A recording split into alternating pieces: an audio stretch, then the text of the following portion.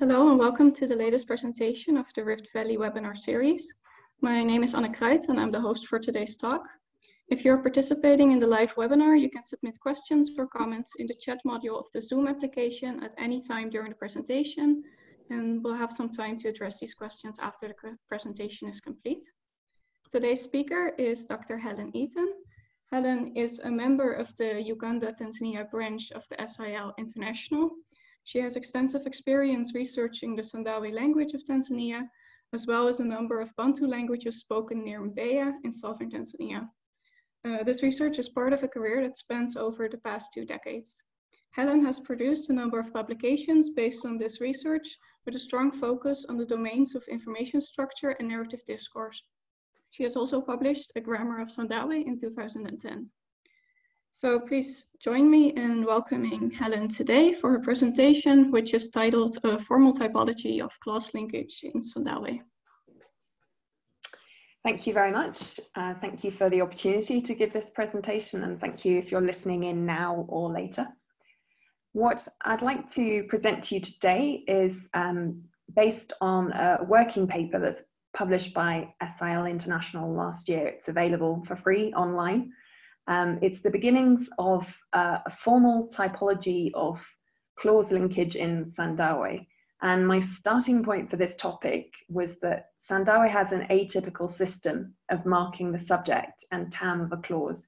So this makes categorizing the clauses according to traditional distinctions between coordination and subordination quite a challenge. Of course, Sandawe is not the only language that challenges um, the traditional distinction in this way. So there have been several attempts to define subordination in clause linkage more rigorously in order for it to be consistently applicable cross-linguistically. So today I'd like to firstly very briefly review those typological approaches to clause linkage and then illustrate the basics of the clause in Sandawe.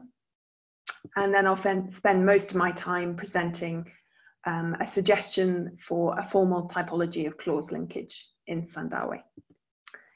So firstly, very briefly, the history of clause typology. Uh, Gast and Diessel recognize three major factors in the traditional analysis of clause combining. So first we have the relation of dependency holding between the clause and the attachment site. Then we have the properties of the attachment site. And thirdly, the properties of the attached clause. And the first of these factors concerns this contrast between coordination and subordination. And dependency could be interpreted in different ways, of course. So we could have a syntactically independent clause um, that stands by itself. Um, a clause could be semantically independent if it can be fully interpreted by itself. And it could be prosodically independent if it forms an intonational phrase by itself.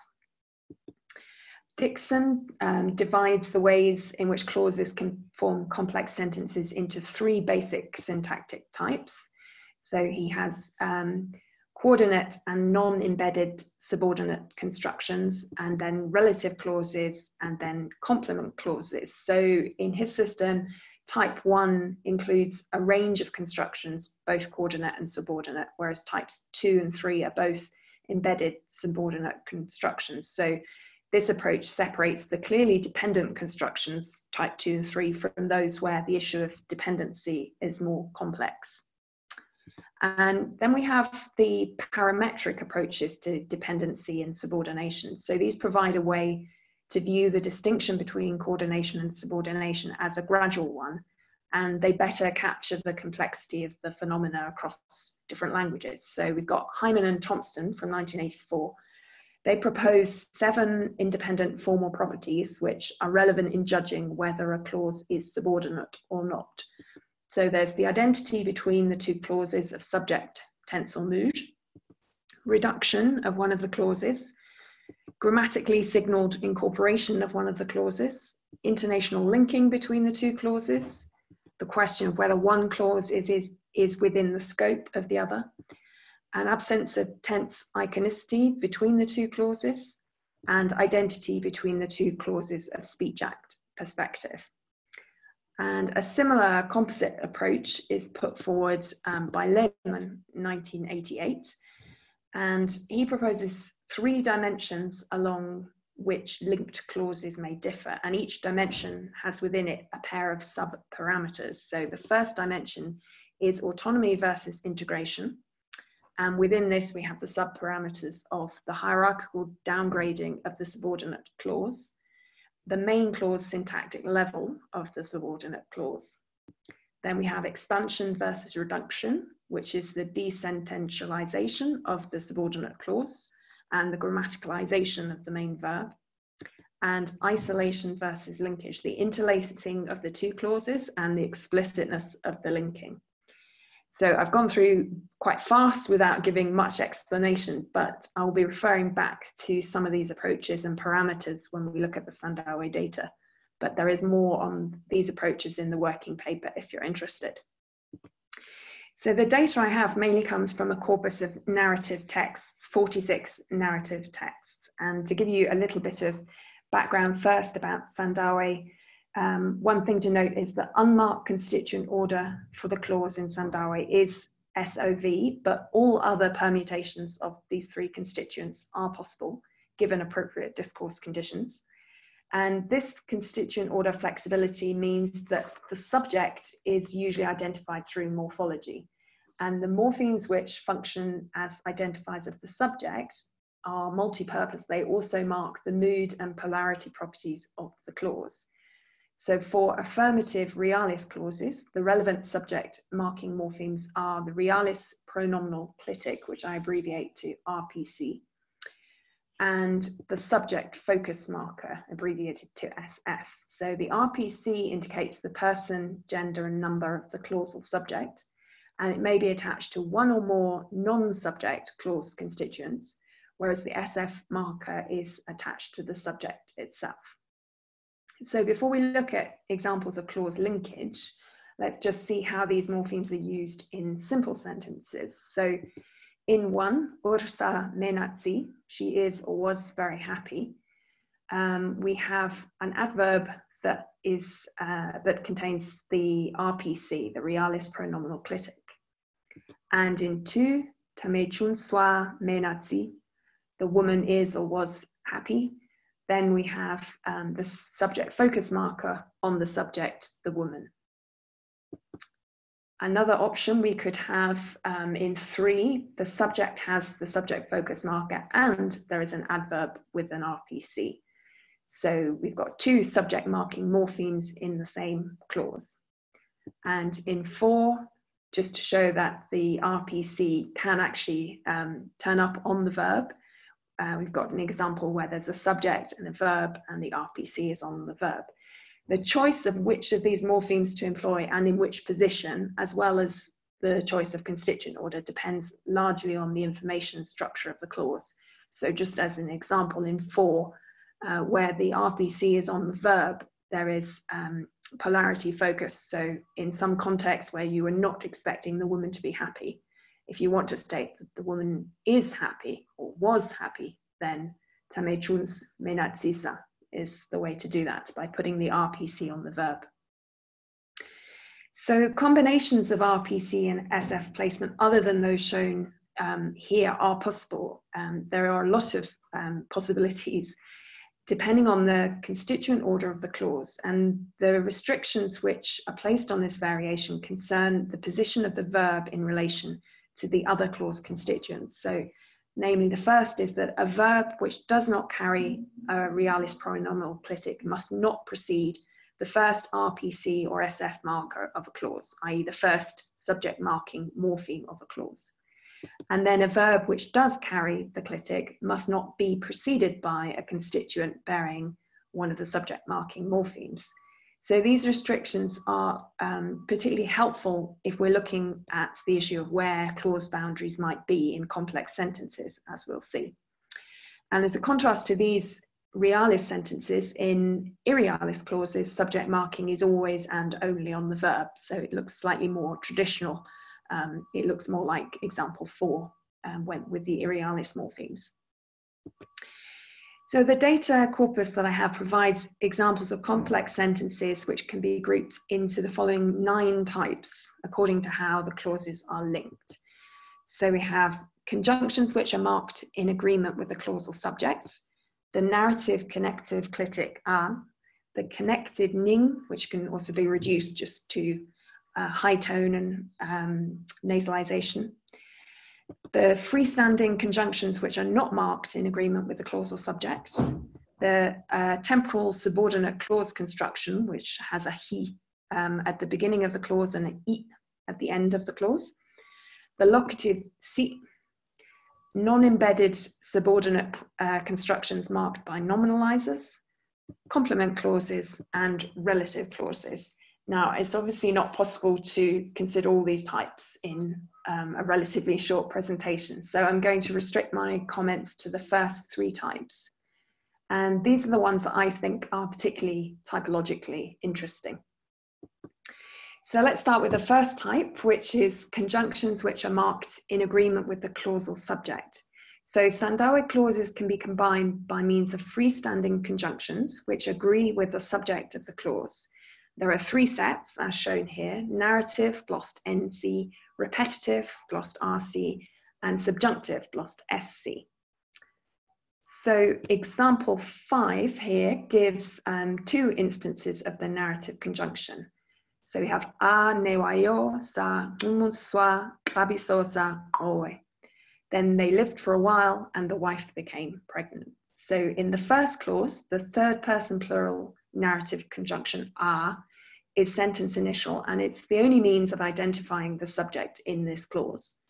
And then in the second clause, we've got the third person feminine singular narrative conjunction sa, which has the dual function of signaling the switch in subject and linking this clause to the previous one. So in a sense, it's and then she um, in terms of its meaning. In the second clause, the subject is also indicated by the realis pronominal clitic on the object, gabiso, stomach. So, and also by the subject focus marker on the subject itself, on the word for wife. So in neither clause um, does the verb carry the realis pronominal clitic, and actually for it do, to do so would render the clauses ungrammatical. So as I said before, a verb which does not carry a, an RPC must be preceded by a constituent bearing one of the subject markers within the clause. And in the second clause, this rule is clearly followed as we've got an unmarked verb preceded by both an SF marker and an RPC. But as the first clause contains only the conjunction and the unmarked verb, it follows that the conjunction must be marked with the RPC, even though this isn't immediately apparent in the surface form, but it's been argued by Elderkin that there is um, the clitic within this uh, conjunction. Repetitive clitics uh, relate to clause structure and subject marking in the same way as the narrative conjunctions, but they show that the situation described by the clause is either being repeated on a specific occasion or it's happening habitually. The subjunctive uh, conjunctions are slightly different. Typically, they're found at the beginning of subjunctive clauses, often following a clause containing a subjunctive pronominal clitic.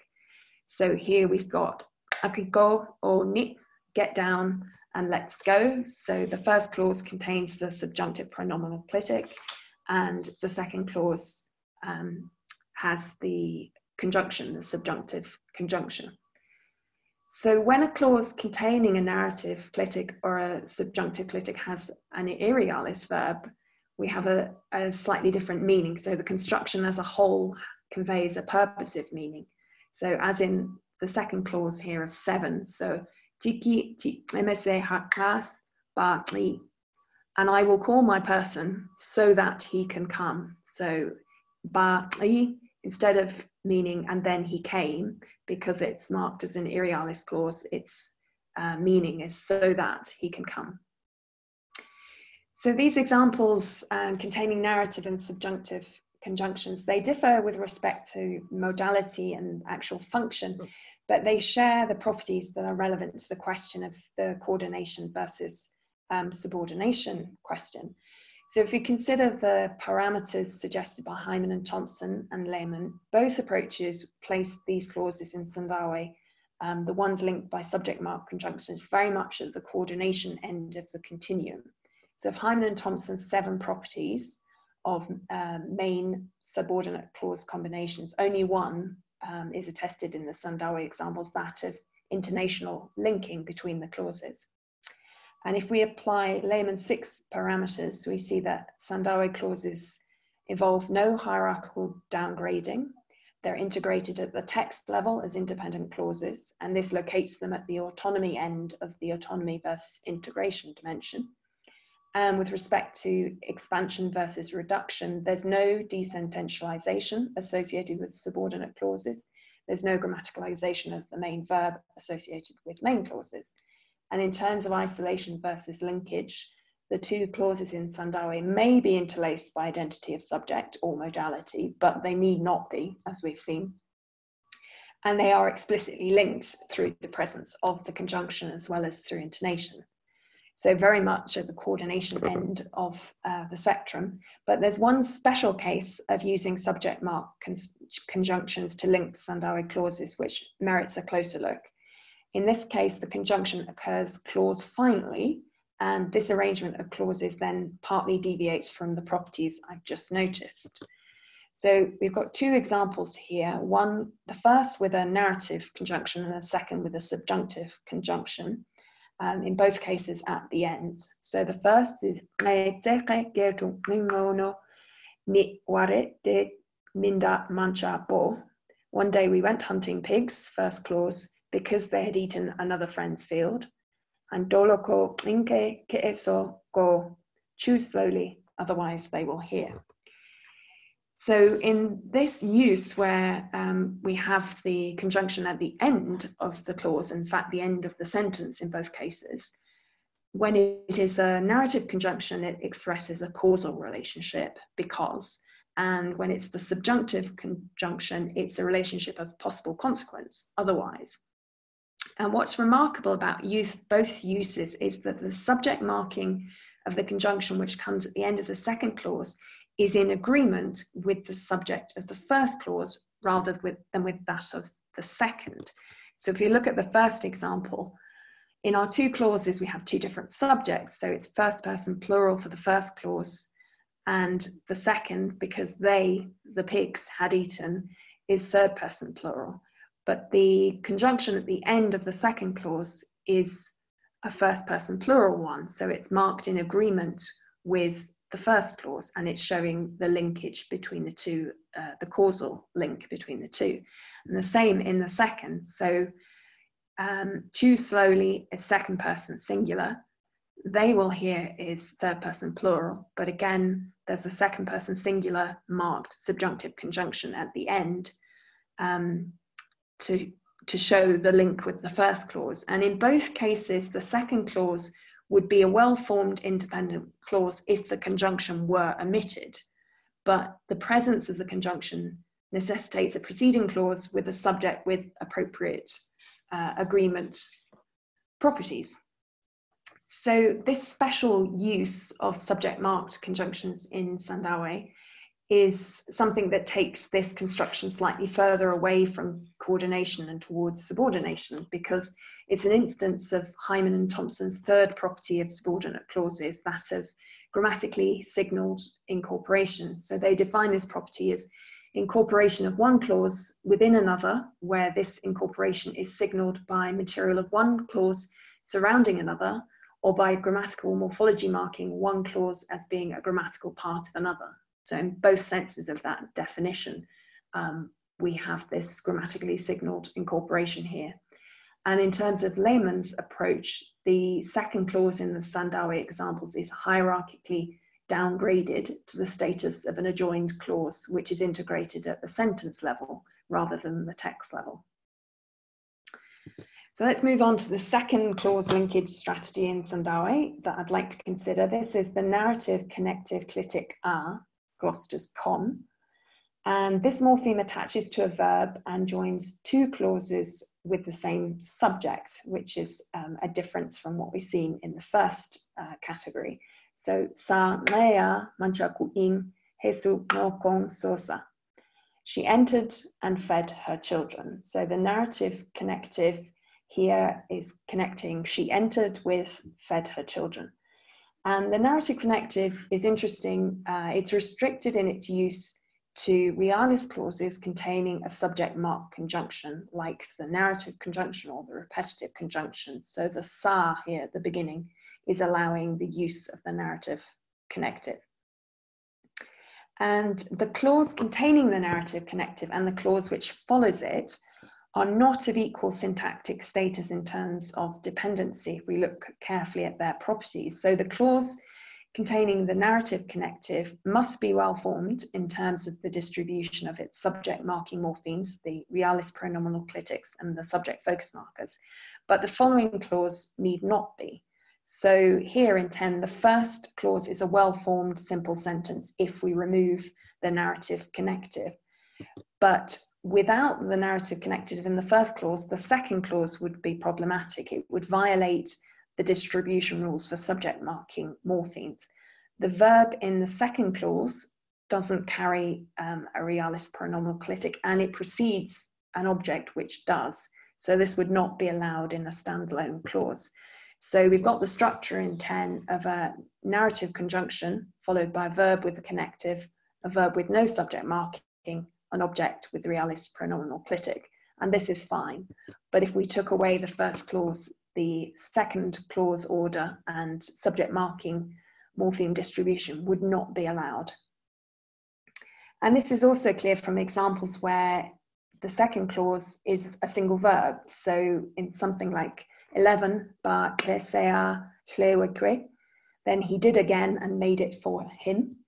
Um, in the second clause, we've just got um, a single verb with no subject marking morpheme. It has objects marked in it, but no subject. So thus for the purposes of applying the subject marking rules, the second clause is counted together with the first clause. Subject marking morphemes in the first affect what is grammatical in the second. And a less literal uh, translation of 11 would be, then he made it for him again.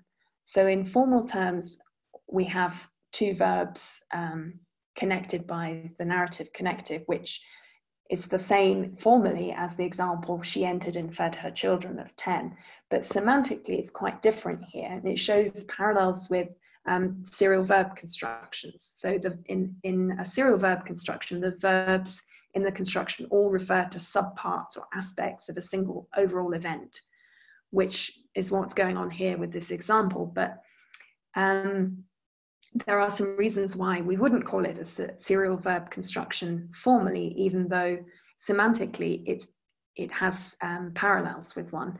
In formal terms, the narrative connective construction doesn't resemble the prototypical serial verb construction as it includes an explicit connective in the form of the a, and it's also not monoclausal construction, and there's no restriction on other constituents intervening between the verbs so it doesn't really follow that it's a serial verb construction, but it can certainly be used for very similar functions, although it can also be used for sequential events, um, as we saw in the previous example.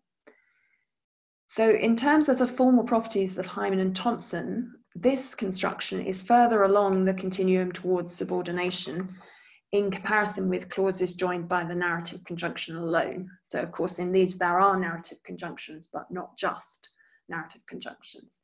Um, the one reason it's further along the continuum is that there must be identity of subject and modality between the two clauses. And another reason is that the second clause may be reduced and would not be able to stand alone without the previous clause.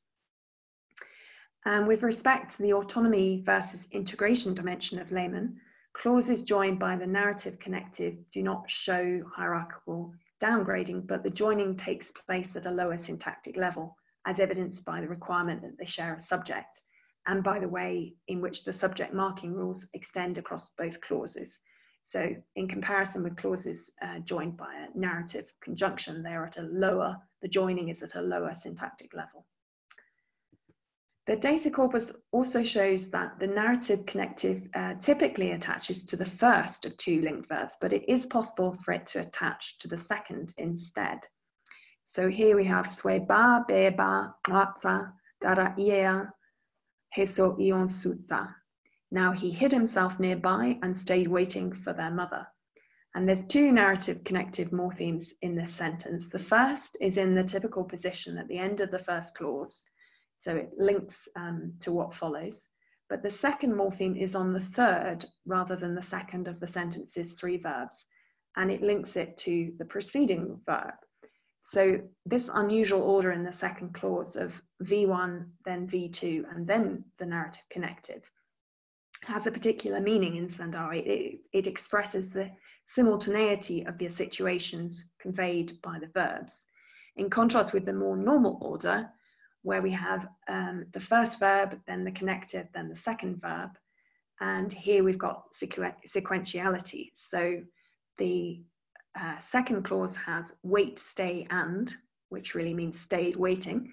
Whereas in the first use of the connective in the sentence, we've got hide and wait, which happen sequentially. So when we have the V1, V2 connective construction, um, being used with a verb like stay, the resulting verb conjunction conveys progressive aspect. So like example 11, it's functioning quite similar way to a serial verb construction, even though formally it's quite different.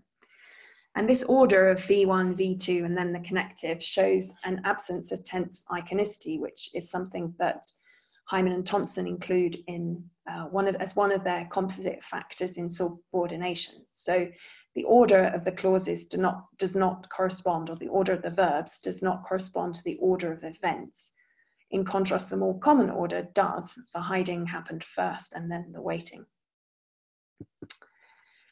The narrative connective only occurs in realis clauses containing a subject mark conjunction. So in other clause types, there's a need for a different kind of connective, and this is the connective ning which is a freestanding conjunction or could be reduced to a floating high tone and nasalization on the word final vowel of the verb to which it's attached. It's glossed by an ampersand in my examples when it occurs in this way.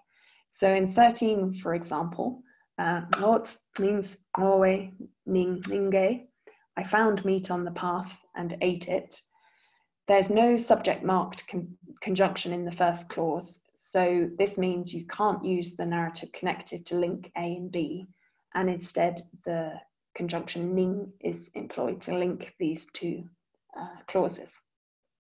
It's quite common to see this conjunction in its reduced form, more common in fact than in its unreduced form. So here we've got con se, do it again and make it for me.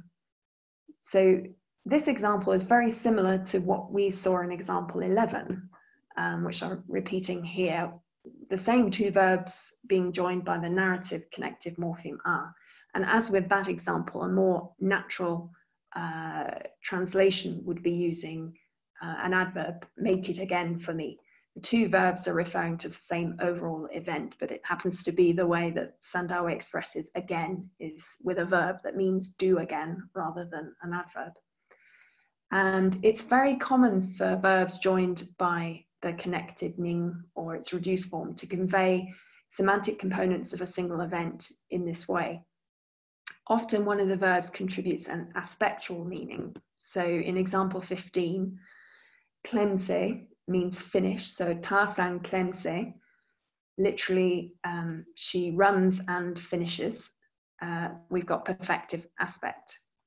And then in 16, san ta she stays or she stayed and ran and runs, um, we've got imperfective aspects. So the semantic reduction here of stay is quite clear. It no longer conveys the meaning of remaining in a particular place when it's linked to ta, to run.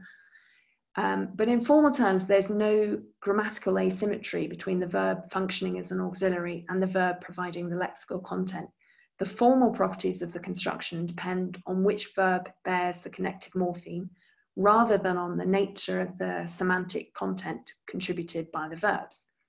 In formal terms, the, the narrative connective are and the connective morpheme mean cover the same range of uses. The important difference the important differences are that the distribution of the former is restricted to certain clause types and that the latter is more commonly used to join verbs which express different semantic components of a single event rather than um, different events, although it's still possible to do that, as we saw in one of the examples. In formal terms, the two clause linkage strategies are also very similar. For example, one of the link clauses may be dependent on the other for its subject and modality marking, and there's a lack of tense iconicity between the clauses when the connective morpheme attaches to the second rather than the first verb. So that's another similarity. An important formal difference between the narrative connective and the freestanding conjunction ning is that the latter doesn't require the clauses which it links to have the same subject, whereas the former does. So in terms of the autonomy versus integration dimension of Lehmann, a case can be made for clause conjunction using ning to be occurring at a higher syntactic level than clause conjunction through the narrative connective a. So in this sense, this one is slightly more towards coordination um, than the previous category we looked at. But then the way in which um, the connective ning is used to join verbs perhaps resembles a serial construction, serial verb construction more closely than the use of the narrative connective R does because it's reduced to a non-segmental form most of the time to floating nasalization and high tone. So it seems to be further along a grammaticalization path towards official categorization as a sub, uh, serial verb construction. The distribution rules for subject marking morphemes apply to constructions um, which are joined in this way by ning but with the exception that both verbs can be marked with a realis pronominal clitic as long as it's the second which carries the connective morpheme. So if you look at this example, which is not allowed, this is what we would expect, um, it mirrors what we've seen in relation to the narrative connective. So what follows a connective morpheme need not be uh, well formed in isolation in terms of subject marking. It's counted together with the same clause. So Tasan ESI is not possible, we assume, because the second word is a verb and there's already uh, an RPC before it. But then uh, that's what we would expect. But then with 18, we see something different. So it suggests there's a clause boundary between the two verbs when the connective morpheme is on the second verb. So tasa iesan is allowed. So the first verb plus the RPC um, is a complete well-formed clause and it's not immediately followed by any form of connective. The second clause is the one um, that has the uh, connective morpheme on it. So there's um, asymmetry here, which is quite interesting. It's also interesting to note that you can't have a verb joined to another verb um, with the connective morpheme in between and then the RPC. So this tang yesa would not be possible. So you can't create a, a compound uh, verb form and then treat it as a single constituent for subject marking purposes, at least not in the realis clauses, because irrealis clauses work differently. As I said, you can only uh, find, you can only put the subject and modality marking on the verb. So when you join two or more verbs together with um, the connective, it's the last verb which carries the inflectional morphemes. So heso, giso, giso, sonso, guameng, habatzeng, atiso. These two would come driving out and making noise. So the so, the um, irrealis uh, third person plural morpheme is on the final verb, and there are two examples of um, the connective at the end of guameng and habatzeng. An example like this bears some resemblance to clause chaining because it's the last verb in a chain of clauses that's inflected, but there's no special converb suffix on the preceding verbs to show they're part of the chain unless we count the connective morpheme as that kind of suffix. But the connective morpheme used here is the same as that used to join other constituents, even NPs. So it's not a special verb suffix here. So in summary, we've looked at three types of clause linkage in Sandawe out of the nine I mentioned. Um, these three, conjunctions marked in agreement with the subject. Uh, the second, the narrative connective are, and these clauses will always have the, the first type of conjunction as well. And then a different kind of connective, which is not restricted to clauses with conjunctions. And a very uh, rough summary would be that the first type is closer to the coordination end of the subordination coordination spectrum. And the second and third are closer to the subordination end, but not exactly as simply as the, the picture suggests. And I think that the feature-based or parametric typological approaches I mentioned at the beginning of the presentation help us to characterize more precisely where these clause linkage strategies fall on the spectrum. By looking um, separately at features such as grammatically signaled incorporation, identity of subject and modality, and tense iconicity. So if you're interested in this topic, please have a look at the paper that I mentioned at the start if you'd uh, like to know more. Thank you very much for listening. Okay, Helen, thank you very much for this really interesting presentation. I'm now going to open the floor for any questions or comments, so please write them in the chat module and uh, I will read them out so Helen can address them. Uh, to give everyone some time to write their questions, I'm going to start with one of my own. Um, and it's really quite simple. I'm, I'm really interested to see what kind of corpus you have and what your data is based on. Okay, yeah, it's um, a corpus of 46 uh, narrative texts, and there is a mixture in there of um, texts which were uh, oral texts which were transcribed and uh, texts which were written down by the authors who were um, learning the orthography. So it's a mixture of both texts, but um, I only looked at narrative texts for the purposes of um, this part of the research, but um, some of the narrative texts have uh, obviously have uh, speech. So there's some interesting examples which are not um, part of the, the narration as such, um, but they're what characters are saying. So it's not as restricted as it may sound, saying that it's narrative texts. Okay, thank you. Um, and I have a question from Maarten. He asks if you have any um, classes linked just by juxtaposition in narratives. Um, very, very rarely. Um, that is really the 10th type, which I didn't mention. Um, I found them and I, I have a feeling that it's, um, it may be more of an oral feature than a written feature, but I would have to look very carefully at that. It's certainly very rare though, because certainly in narratives, the uh, narrative conjunctions are extremely frequent um, in most clauses. It is basically the default. So when you're, if you're thinking of um, Swahili, when a, a, Sandawe speaker is asked to give a gloss for um, a sentence or some clauses containing the narrative conjunction, they, they won't use halafu, they won't use a, a, conjunction in Swahili for their ba or sa for their conjunctions in Sandawe. They would just use the ka tense form in Swahili um, because it's it's the unmarked way of uh, narrating clauses. I'm gonna go to Richard first. Um, so Richard says, thank you for your talk. And he asks if you see any similarities with Khoisan languages of Southern Africa in terms of these clause linking constructions. And also, do you see anything similar in the area surrounding Sandawe? Um, that's a really good question. I have no idea for the first uh, question. I would be very interested to know. Um, there, there's been some comparison of Khoisan languages of Southern Africa in terms of the subject marking morphemes. So uh, if you look at Elderkin's work in particular, um, there's a lot on that. So there's similarities there. But in terms of the conjunction and the clause linking constructions, I'm not aware um, of where there would be similarities. And it's a very interesting question. Are there similarities um, in the surrounding area? And I think I should be asking the question back to anybody who's listening, really, because I don't know the other languages in the area. But I'm, I'd be really interested if someone is going to give a talk on clause linkage in any of the surrounding languages, because um, to me, some of the things that Sandawe does are just very unusual, and I would love to know if other languages were doing something similar.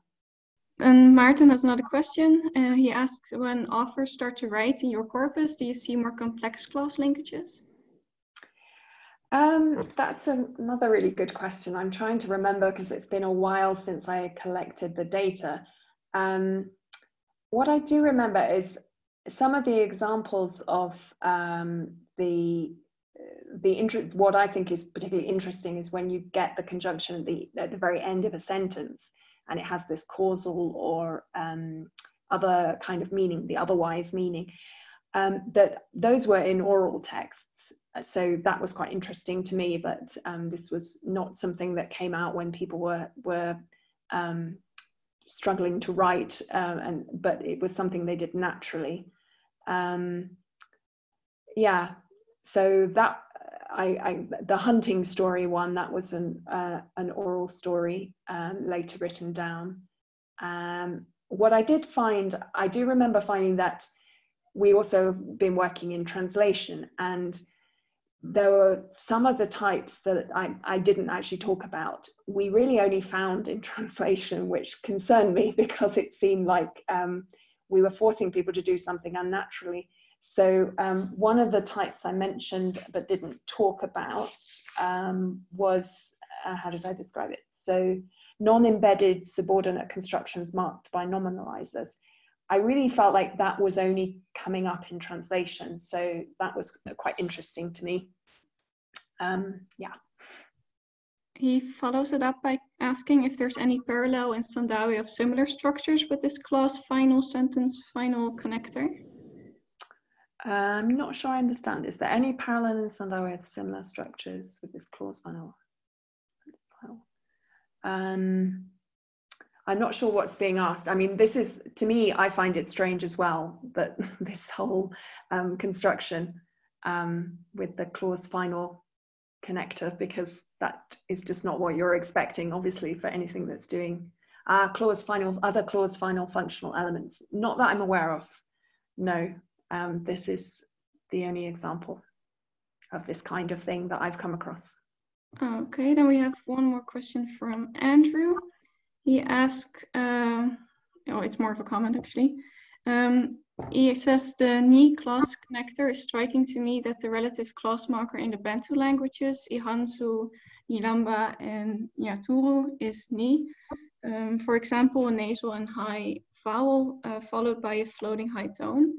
Obviously, it's hard to say if the two have the same origin, uh, an alveolar nasal and the plus a high tone isn't rare and from the uh, and the Bantu forms may have come from a copular form. Uh, it would be interesting to see if there's any ni or ni-like forms in wider Khoisan. Yes, I can just agree on that. Definitely, it would be. Um, yeah. Okay, then if there's no more questions, um, then if not, I'd like to thank you again, Helen, for this really interesting talk and everyone who participated with uh, the live webinar and for all the questions and comments. Um, I also like to take this opportunity to um, remind everyone that the recordings of all the presentations in the Rift Valley webinar series can be found on the Rift Valley Network YouTube page, and entries for each presentation are added to the Rift Valley bibliography. Um, this was the last presentation of 2019. Uh, they're going to start up again with a new webinar series in 2020, um, these are going to be um, announced through the emailing list. So then I would just like to say thanks again to everyone participating and hopefully seeing you at the next webinar.